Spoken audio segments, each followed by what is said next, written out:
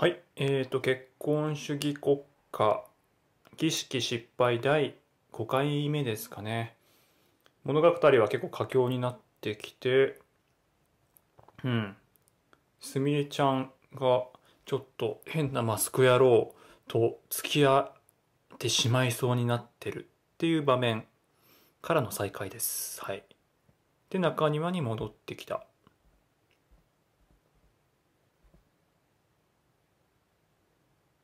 あれ。もう言っちゃうのかなこの今までのやつ茶番だったよってこと。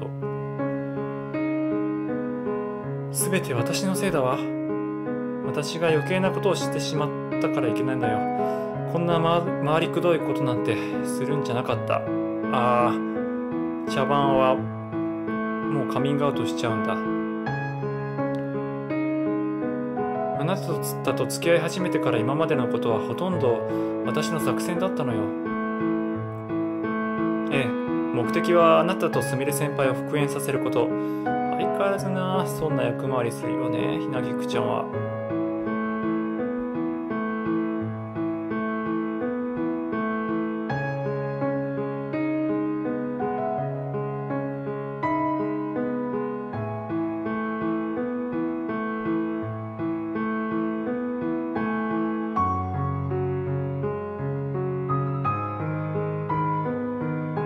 そういうことか。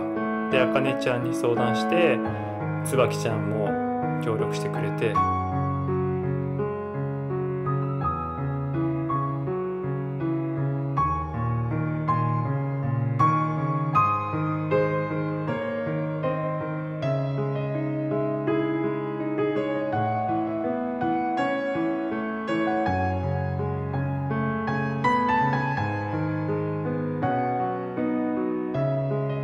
っぱりここは予想外の展開だったんだ。このマスク野郎の登場は。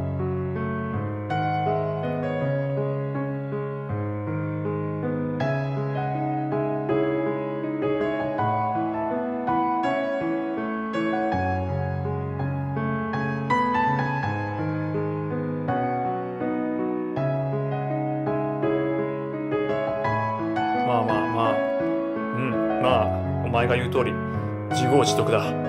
おう。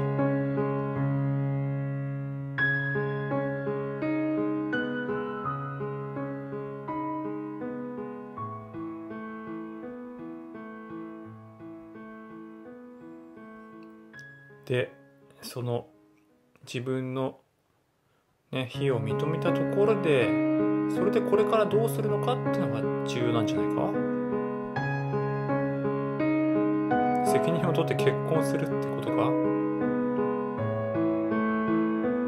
出た。まあそれそれはよくそれはよくないと思うな。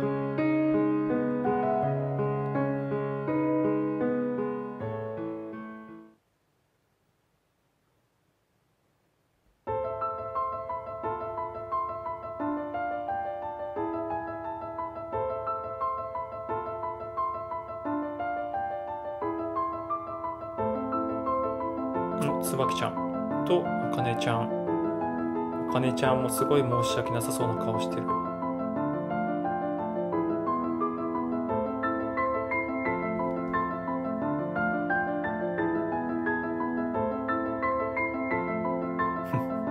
相変わらずやな。ここは謝るような場面ではありませんから。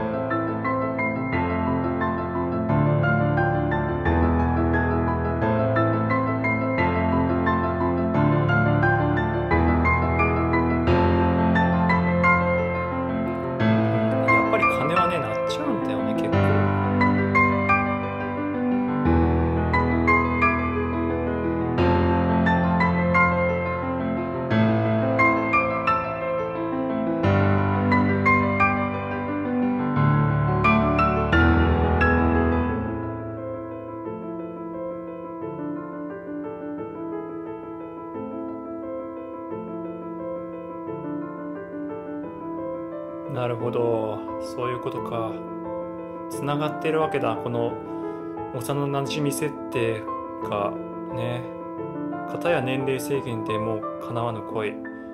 片や何の障害もないんだけれどもでもそれでいいんじゃないかってこう思っちゃってるところが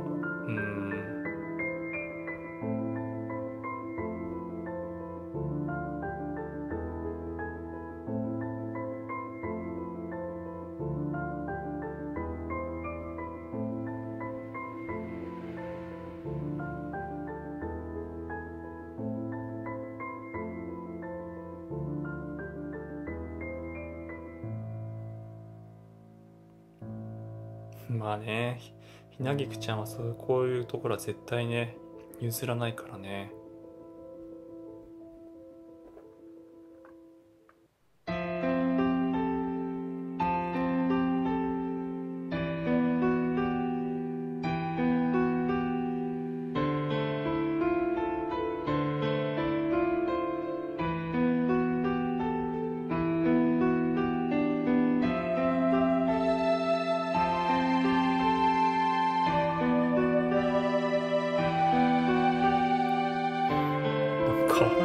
なんかあからさまに怪しい男が出てきましたけどこいつは誰でしょう？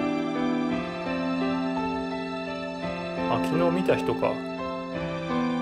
ほうほうほう。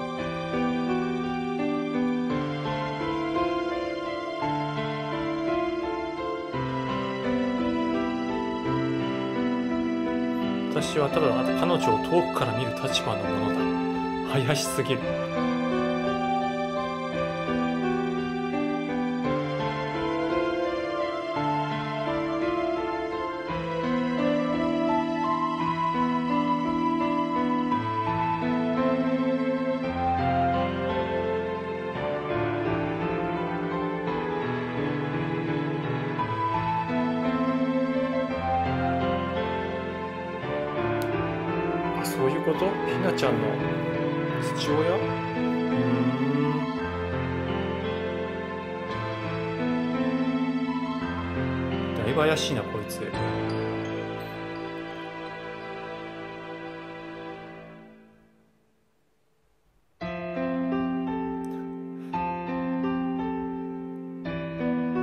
ド直球150キロど真ん中。さあどうする？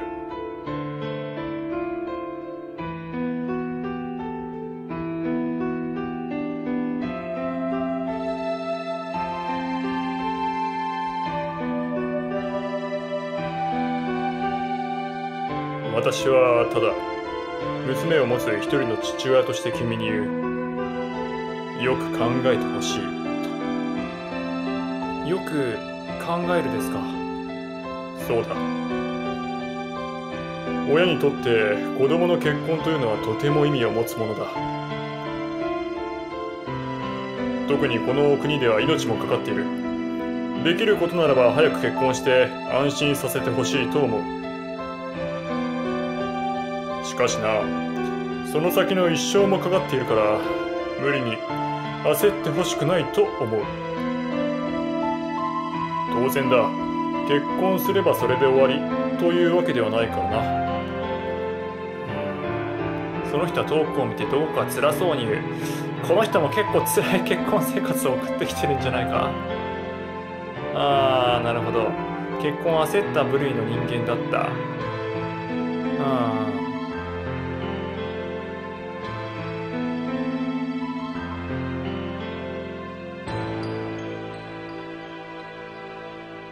そうなんだ。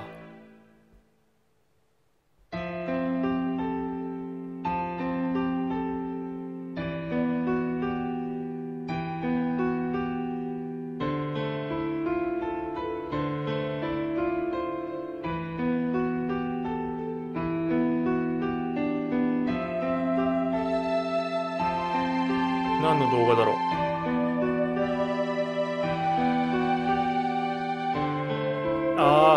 シンジ君との時か。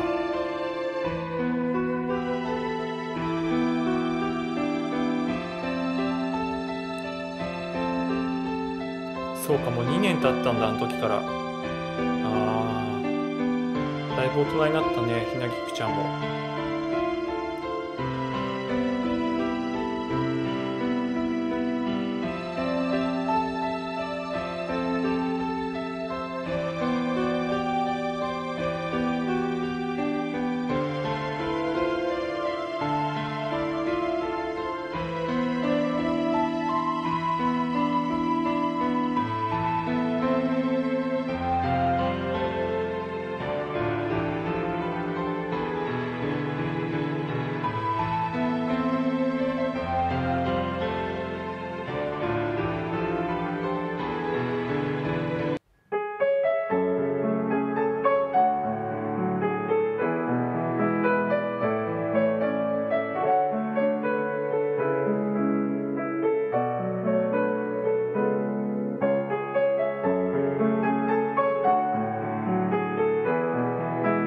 結構いいパパだった。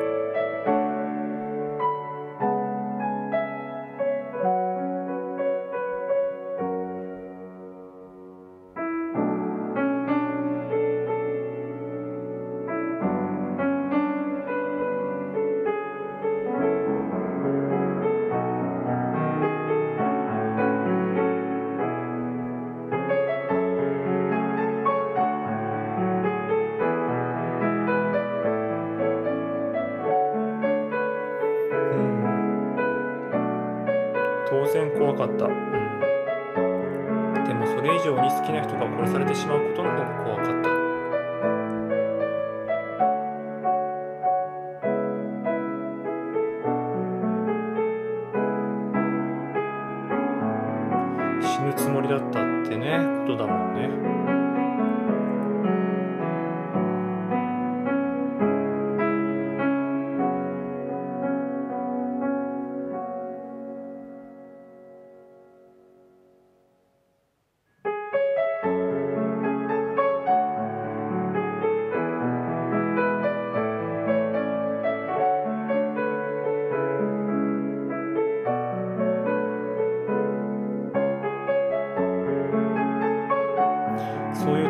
つも通りだったのがすみれちゃんだったんだ。うわめっちゃ懐深い。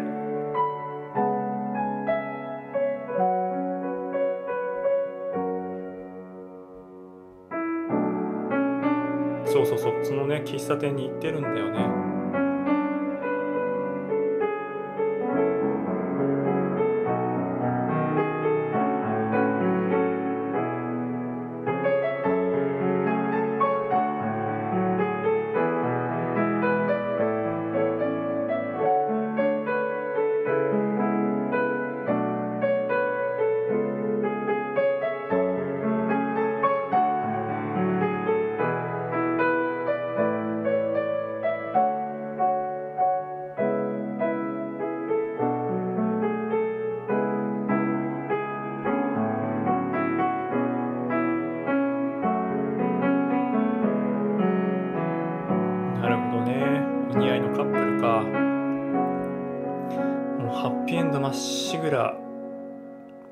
けどあのマスク男がどうなるのかね。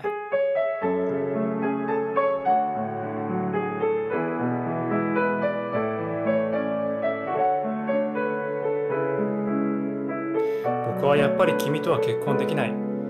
結婚したらいけない気がする。だって君はもう既婚者でしょ。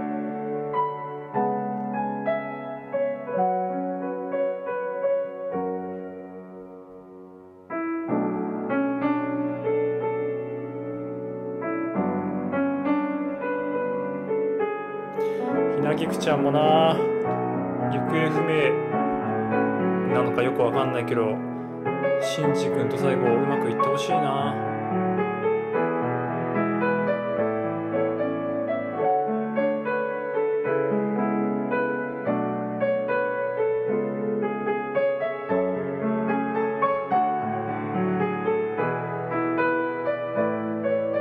キャ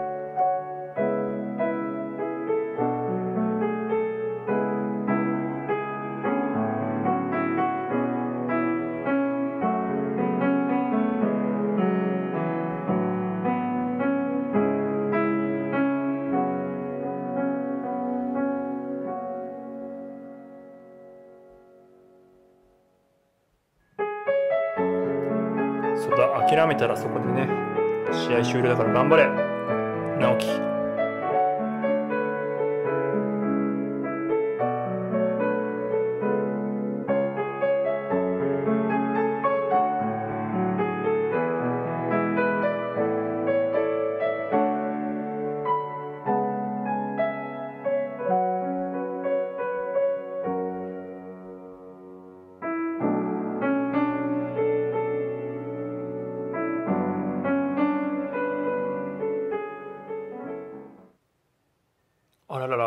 なっちゃったよ。来ないか。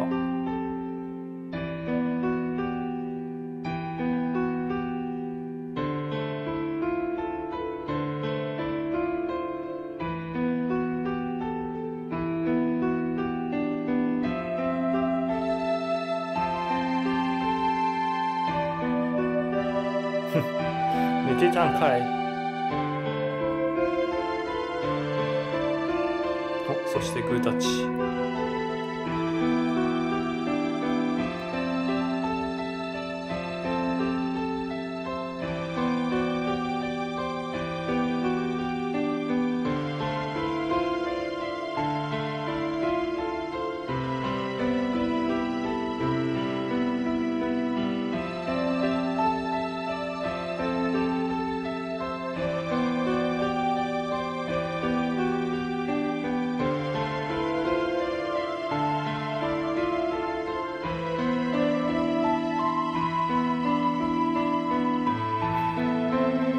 かった。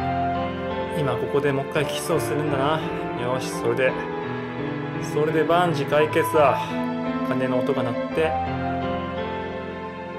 ッケーオッケー。すみれと結婚したいんだよ。よしよく言った直樹。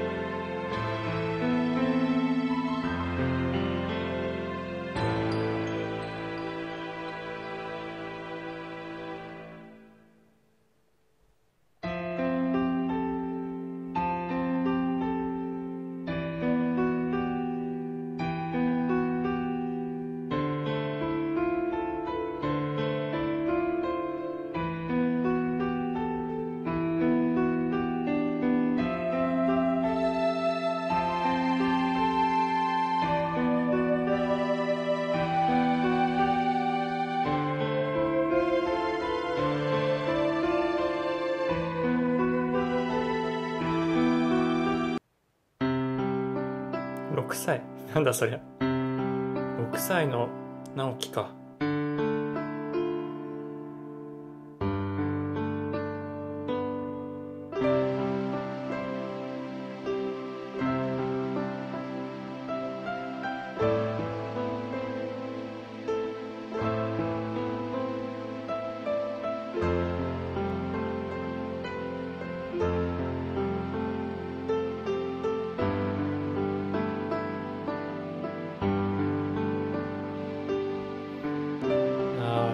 かったですね。これ本当によかった。2人ともうん。大事な気持ちに気づけたからね。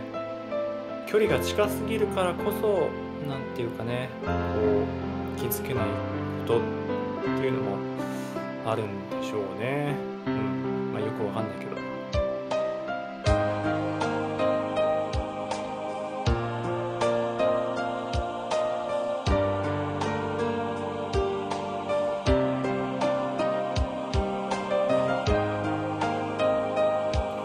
確かに主語は書いてなかったそのメールには。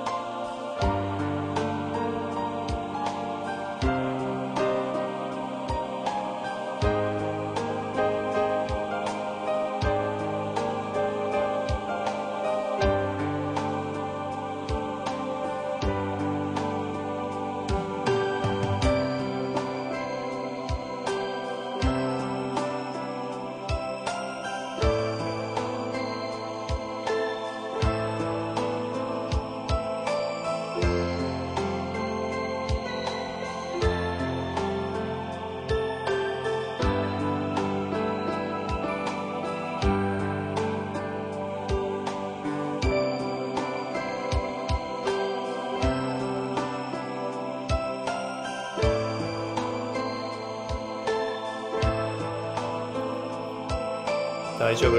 金は鳴る。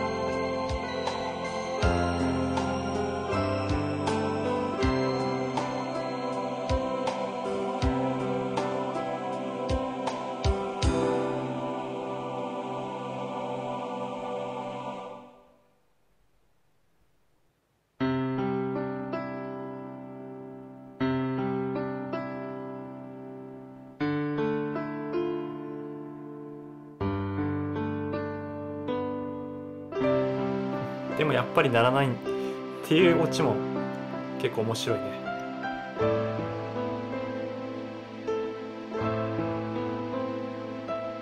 やっぱりならなかった。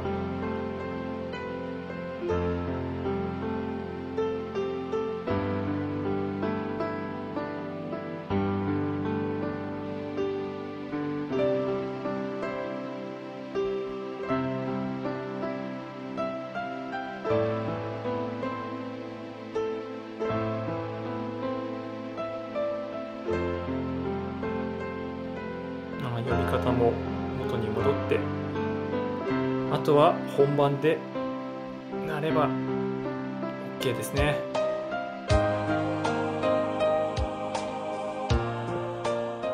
まあなるでよ。うんなる。大丈夫大丈夫。なる。おう。でスタッフロール。はい。まあこのねゲームプレイしたことある人とか、まあ、この動画をね見てくれている人は存知かと思うんですけども、まあね、このスタッフロールの後にちょっとおまけというか後日談というかねのがちょっとこうあるんですよ。多分そこでえーっとね結婚式当日の場面が出てきてでめでたくなりました。イエーイっていう感じかなって思います。うん。でもね良かったね。こう今までの物語の集大成っていうかいろんな人たちのこう思いがつながってこの2人はね自分たちの大事な思いに気づ気がつけたっていうところでは、うん、結構ね集大成的なシナリオだったんじゃないかなと思っておった。でこれ結婚式本番ですね。なったんだ。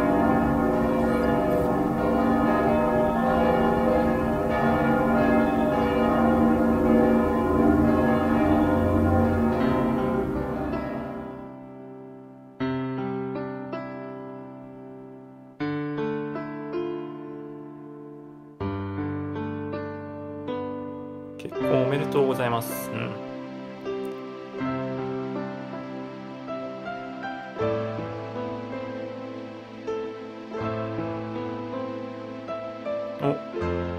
ちゃんと謝った。椿ちゃんもなんかね、少し柔らかくなったというか、うん、まあもともといい子なのは間違いないけどね。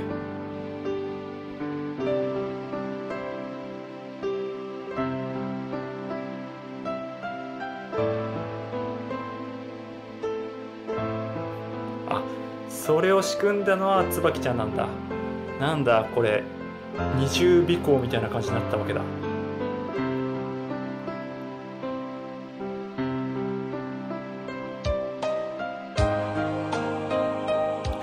待って。ちょ待って。ごめん。このさこのゲームって基本的に男の人のグラフィックは出てこないからさ主人公まあ出てくる、うん、基本的にそのショーでは出てこないで違う話の時にこうその違うキャラまあ同じキャラクターなんだけどもグラフィックが出てくることはあるんだよね。全然なんちゅうか椿ちゃん大丈夫？あいつかなりただのチャラ男だったよなんか。いやーあんな男と結婚したの？はちょっとちょっとあのグラフィックか。まあいいやちょっと話す話の本筋とは関係ないのでまああの、え切ります。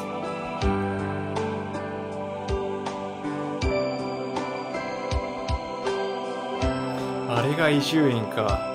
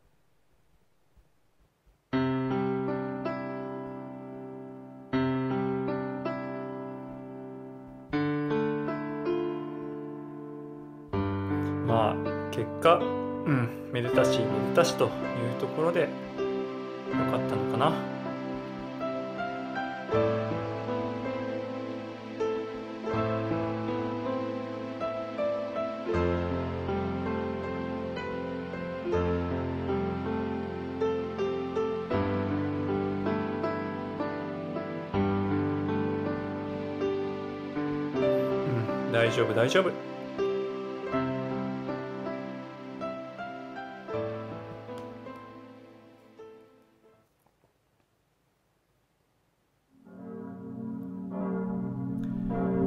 はい。ということで結婚主義国家第3週ですかね。左のあかねちゃんと右のすみれちゃんの物語が終わりました。割とハッピーエンド気味ハッピーエンド気味っていうかまあ普通にハッピーエンドだったのでうんまあ良かったかなって思います。でちょっとその次のね第4週の布石的に仮面少女が出てきてで仮面少女のね素顔っていうのも今のショーで今のショーっていうか今の物語の中で喫茶店でね出てきたあの恥ずかしくてメニューも口で伝えられないこの左上の女の子。出てきましたね。右上の女の子は今まで多分一回も出てきてないと思うんだけどこの子はね本当何者なんでしょうかねっていうことでえー、っと第4週もね引き続き、えー、やっていきたいと思いますので次回も、えー、お楽しみにというところで、えー、終わりたいと思います。それではバイバイ。